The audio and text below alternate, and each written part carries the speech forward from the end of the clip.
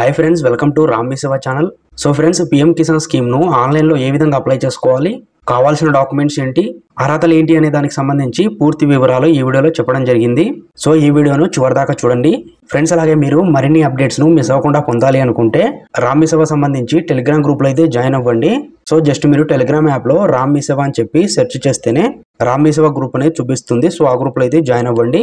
So ఈ PM Kisan స్కీమ్ను రెండు రకాలుగా అప్లై చేసుకోవచ్చు. ఒకటి మనమే సొంతంగా పిఎం కిసాన్ సంబంధించిన వెబ్సైట్లో ఫార్మర్ సంబంధించి న్యూ రిజిస్ట్రేషన్లో అప్లై చేసుకోవచ్చు అనమాట అలాగే ఇంకో ప్రాసెస్ వచ్చేసి కామన్ సర్వీస్ సెంటర్స్ అని చెప్పి సిఎస్సి సెంటర్స్ అయితే ఉంటాయి కదా. సో అందులో కూడా మీరు అప్లై అయితే చేసుకోవచ్చు అనమాట సో ఈ వీడియోలో మనం పిఎం కిసాన్ సంబంధించిన వెబ్సైట్లో ఫార్మర్ రిజిస్ట్రేషన్ ఏ విధంగా చేసుకోవాలో ఈ వీడియోలో చెప్పబోతున్నాను.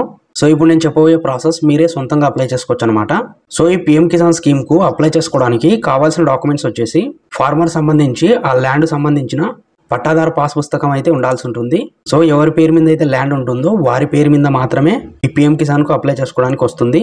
అలాగే ఫార్మర్ సంబంధించి ఆధార్ కార్డు ఉండాలి రేషన్ కార్డు ఉండాలి అదేవిధంగా బ్యాంక్ పాస్బుక్ కూడా ఉండాలి. అలాగే అప్లై చేసుకోవడానికి అర్హతలు ఏంటంటే సో ఐదు ఎకరాల కంటే తక్కువ పొలం ఉన్న చిన్న సన్నకారు రైతులు ఈ స్కీమ్కు ఎలిజిబుల్ అవుతారనమాట అలాగే అప్లికెంట్ సంబంధించిన ఫ్యామిలీలో గవర్నమెంట్ ఎంప్లాయీస్ కానీ గవర్నమెంట్ నుండి పిఎఫ్ పొందుతున్న వారు కానీ అలాగే గవర్నమెంట్కి ఇన్కమ్ ట్యాక్స్ పే చేసే వాళ్ళు కూడా ఈ స్కీమ్కి ఎలిజిబుల్ అవ్వరనమాట వారు అప్లై చేసుకోవడానికి ఉండదు. ఓన్లీ బిలో పావర్టీ లైన్లో ఉండాలన్నమాట. సో ఆన్లైన్లో అప్లై చేసుకోవడానికి ముందుగా మీరు ఏం చేస్తారంటే సో జస్ట్ మీరు గూగుల్ ఓపెన్ చేసుకొని ఇక్కడ వచ్చేసి పిఎం కిసాన్ అని చెప్పి సెర్చ్ చేస్తేనే ఈ విధంగా మీకు వెబ్సైట్ అనేది చూపిస్తుంది అనమాట సో ఈ వెబ్సైట్ను క్లిక్ చేసుకుంటే ఇలా మీకు హోమ్ పేజ్ అనేది ఓపెన్ అవుతుంది. ఇక్కడ కొంచెం కిందికి వస్తే కనుక ఇక్కడ మీకు ఫార్మర్స్ కార్నర్ అని చెప్పి ఉంటుంది. సో ఇక్కడ వచ్చేసి న్యూ ఫార్మర్ రిజిస్ట్రేషన్ అని చెప్పి ఉంది కదా. సో ఇక్కడైతే క్లిక్ చేయాలి. నెక్స్ట్ మీకు ఈ విధంగా ఓపెన్ అవుతుంది. ఇక్కడ మీరు ఏం చేస్తారంటే కనుక సో మీ ల్యాండ్ గ్రామాలలో ఉంటే కనుక రూరల్ ఫార్మర్ రిజిస్ట్రేషన్ అని క్లిక్ చేయాలి. ఒకవేళ సిటీస్కి సంబంధించి ఉంటే కనుక అర్బన్ అని చెప్పి టిక్ చేయాల్సి ఉంటుంది. అలాగే ఇక్కడ ఫార్మర్ సంబంధించి ఆధార్ నెంబర్ని ఎంటర్ చేయాలి. అలాగే ఇక్కడ మొబైల్ నెంబర్ని ఎంటర్ చేయాలి. ఇక్కడ ఆధార్ సంబంధించి ఓటీపీ ప్రాసెస్ చేయాలి. అలాగే మొబైల్ సంబంధించి కూడా ఓటీపీ ప్రాసెస్ అనేది ఉంటుందన్నమాట. ఆ రెండు ప్రాసెస్లు కంప్లీట్ చేసిన తర్వాతనే మీకు అప్లికేషన్ ఫామ్ అనేది ఓపెన్ అవుతుంది. సో ఇలా ఆధార్ నెంబర్ను మొబైల్ నెంబర్ను ఎంటర్ చేసిన తర్వాత ఇక్కడ మీ స్టేట్ని అయితే సెలెక్ట్ చేసుకోవాలి. నెక్స్ట్ ఇక్కడ ఈ క్యాప్చన్ అయితే ఎంటర్ చేయండి.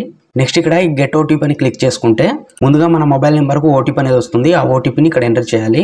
తర్వాత మళ్ళీ ఇక్కడ క్యాప్చన్ అయితే ఎంటర్ చేయాలి.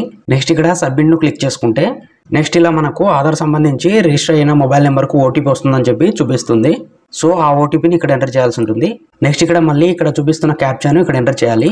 నెక్స్ట్ ఇక్కడ వెరిఫై ఆధార్ ఓటీపీ అని క్లిక్ చేసుకుంటే నెక్స్ట్ మనకు ఈ విధంగా అప్లికేషన్ ఫామ్ అనేది ఓపెన్ అవుతుంది. సో ఇక్కడ వచ్చేసి మీ స్టేట్ కానీ డిస్టిక్ అలాగే సబ్ డిస్టిక్ విలేజ్ కానీ ఇక్కడ ఎంటర్ చేసుకోవాల్సి ఉంటుంది. అలా ఇక్కడ మెయిన్గా వచ్చేసి ఫార్మర్ పర్సనల్ డీటెయిల్స్ దగ్గర ఫార్మర్ సంబంధించిన డీటెయిల్స్ అన్ని ఇక్కడ ఎంటర్ చేయాల్సి ఉంటుంది అనమాట ఇక్కడ కేటగిరీ దగ్గర మీ క్యాస్ట్ ఏదో సెలెక్ట్ చేసుకోవాలి. అలా ఇక్కడ ఫార్మర్ టైప్ దగ్గర స్మాల్ అదర్స్ అనేది సెలెక్ట్ చేసుకోవాల్సి ఉంటుంది. ఒకటి నుండి రెండు ఎకరాల లోపు ఉంటే కనుక స్మాల్ అని చెప్పి సెలెక్ట్ చేసుకోండి. ఇందులో మనకు ఎక్కడైతే స్టార్ సింబల్స్ ఉంటాయో అవన్నీ మనం ఫిల్ చేయాల్సి ఉంటుంది. ఇక్కడ మనకు ల్యాండ్ రిజిస్ట్రేషన్ ఐడి అని చెప్పి చూపిస్తుంది కదా. సో ఇక్కడ వచ్చేసి మనకు స్టార్ సింబల్ అనేది లేదనమాట. అందుకు మనం ఇక్కడ ఎంటర్ చేసినా ఒకటే ఎంటర్ చేయకుండా ఏం కాదనమాట. అలా ఇక్కడ రేషన్ కార్డ్ నెంబర్ దగ్గర కూడా మనకు స్టార్ సింబల్ లేదు కాబట్టి ఎంటర్ చేయాల్సిన అవసరం లేదు. అలా ఇక్కడ మెయిన్గా వచ్చేసి ఓనర్షిప్ ల్యాండ్ హోల్డింగ్ అని చెప్పి ఉంది కదా. ఇక్కడ వచ్చేసి సింగిల్ ఓనర్ అయితే కనుక సింగిల్ అని సెలెక్ట్ చేయాలి. జాయింట్ అయితే కనుక జాయింట్ అని చెప్పి సెలెక్ట్ చేయాలి. ఆ తర్వాత ఇక్కడ యాడ్ అని చెప్పి ఉంది కదా ఇక్కడ క్లిక్ చేసి నెక్స్ట్ మనకు యాడ్ ల్యాండ్ డీటెయిల్స్ అని చెప్పి చూపిస్తుంది. సో ఇక్కడ మీరు ఏం చేస్తారంటే కనుక మీ ల్యాండ్ సంబంధించి పాస్బుక్ ఉంటుంది కదా అందులో మీకు సర్వే నెంబర్ కానీ ఖాతా నెంబర్ అనేది ఉంటుంది ఇక్కడ ఎంటర్ చేయాల్సి ఉంటుంది. అలాగే ఇక్కడ సర్వే నెంబర్ని అయితే ఎంటర్ చేయాలి. అలాగే ఇక్కడ ఎన్ని ఎకరాల్లో మీకు ల్యాండ్ ఉందో ఇక్కడ ఎంటర్ చేయాలి.